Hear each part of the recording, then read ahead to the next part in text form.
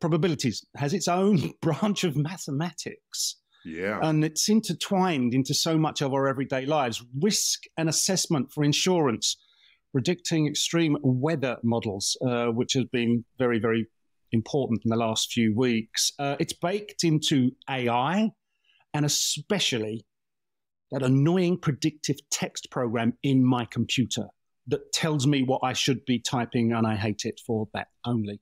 Um, it's probability that's used in cyberspace. And uh, we do, without realizing, have that baked in again.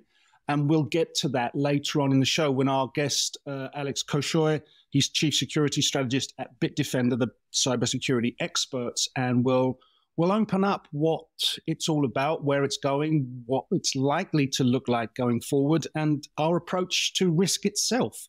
So, having said that, Neil, let's let's find out more about what happens when a bunch of physicists turn up in Las Vegas.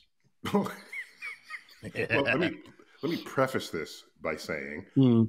back in the 1980s, the my community of physicists, the American Physical Society, the APS, uh, they have annual meetings, and one of them was scheduled for San Diego. Uh, San Diego, especially of late, is a big convention town. Comic Con, you know, the most famous of the world's Comic Cons takes place there.